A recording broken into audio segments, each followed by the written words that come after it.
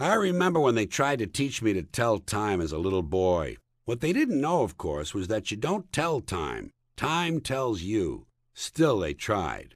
Now, George, the big hand is on. I don't have a big hand. Both my hands are little. Never mind, just look at the clock. And I did. And it was wonderful. I love the face of a clock. To me, there is great emotion attached to the face of a clock, a conventional analog clock. Digital clocks are all right in their place, I suppose, but they lack the friendly spatial relationships that exist between the hands and the numerals on an analog clock. There's a psychological component. To me, the first half of any hour, as the minute hand falls from 12 to 6, passes a lot more quickly than the second half, when it has to struggle upward, fighting gravity all the way. I'll say this much if I only had half an hour to live, I'd want it to be the second half. I just know it would last a little longer.